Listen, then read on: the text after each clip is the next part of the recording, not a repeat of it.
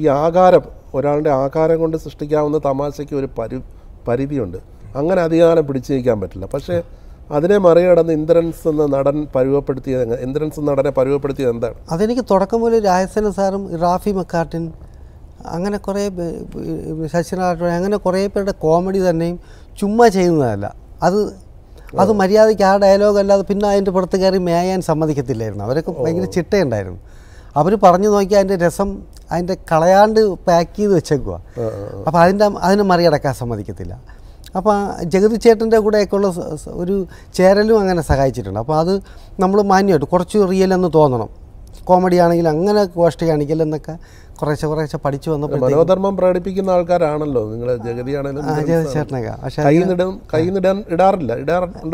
ചിലത് അങ്ങനെ ചെയ്താൽ കൊള്ളാമെങ്കിൽ ഡയറക്റ്റ് അനുവാദം ഉണ്ടെങ്കിൽ മാത്രം.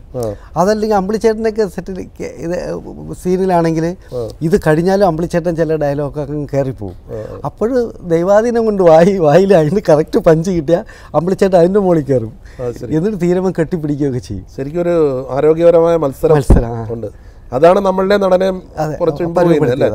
അങ്ങനെ അങ്ങനെ ആ ഒരു രീതി തോന്നിയ നടന്മാരാരൊക്കെയാണ് മറ്റ് ജഗതിയെ മാറ്റി നിർത്തിയാൽ. ജഗതി മാറ്റി മാളച്ചേട്ടനും അങ്ങനെ പപ്പച്ച എല്ലാവർക്കും ഈ മനസ്സിൽ ഭയങ്കര മത്സരമുള്ളവരാണ് ചിലപ്പോൾ അവർക്ക് ദേഷ്യം വരികയും ചെയ്യും. അതിന്റെ അതിന്റെ മുകളിലൊരു പഞ്ച് നമ്മൾ കയറ്റിയാൽ, അങ്ങനെയൊക്കെ ഒരു സ്പിരിറ്റ് ഉണ്ടായിരുന്നു.